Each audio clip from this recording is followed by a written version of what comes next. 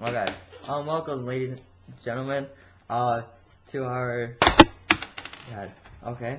Um, welcome to our historic uh, scientist show. We are proud to um, introduce Mr. Dalton and uh, Mr. Democritus here to talk to us tonight about their um, theories, and this should be very interesting. So, um, here they are now.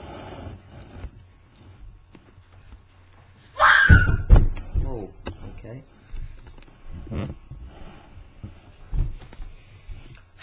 Okay, um, well, you ladies are not, uh, who I expected, um, who might you be?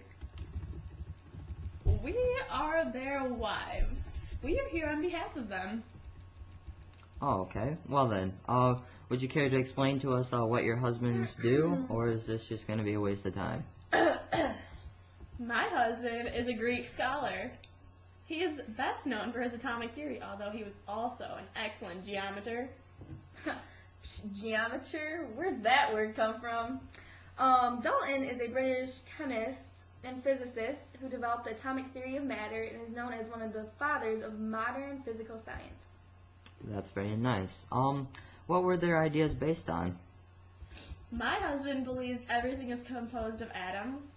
All motion or change is locomotion, the motion of atoms. My husband based his ideas around Democritus's experiments and tried to remake them because Democritus wasn't correct. However, Democritus didn't even have a scientific theory because his explanations couldn't even be tested. Alright, well, what were some differences between your husband's theories?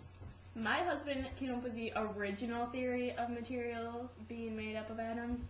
Um, my husband improved the atomic theory. Mine came up with it first.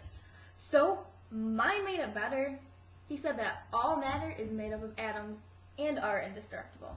Democritus said that first. No. He said that the main elements were earth, fire, water, and air. Democritus was smarter, obviously. He also studied physics, astronomy, zoology, botany, and medicine. And you forgot, his nickname was the Laughing Scholar. I believe that was for a pretty good reason. Because my boy had to improve his theories. Ladies, ladies, please, let's calm it down. No, we need to settle this. Alright, let's make an agreement. Alright, I'd like to hear this.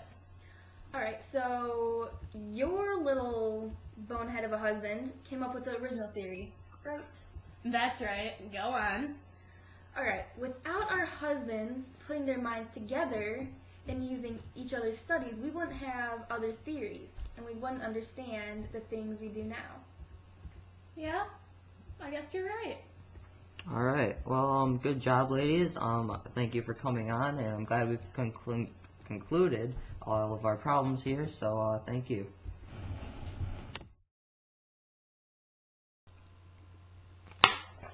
Alright. Um, welcome, ladies and gentlemen, uh, to the historic, uh, scientist show. We have a very special treat tonight. Uh, we were bringing in Mr. Dalton and Mr. Democritus here, um, and, um, here they are right now, actually.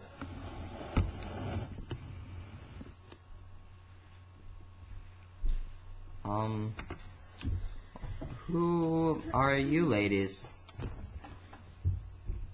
I was expecting Mr. Dalton and Mr. Democritus. We are their wives. We are here on behalf of them. Okay, well then, um, would you like to explain to us how your husbands, um, what they do? My husband is a Greek scholar. And?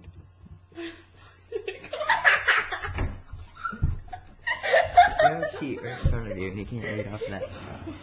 Okay, that was my fault. You're Actually, no, it wasn't. fault. You're throwing shit at me.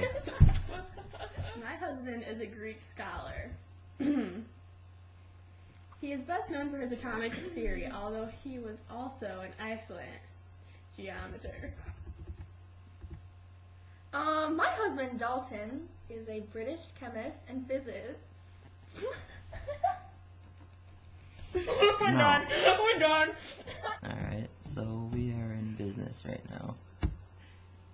Okay, so, Hello? No, that's no, no. not a good way to start. Alright. we're getting ready to. Well, we're getting ready to film right now. Supposed to- Oh, and it's recording.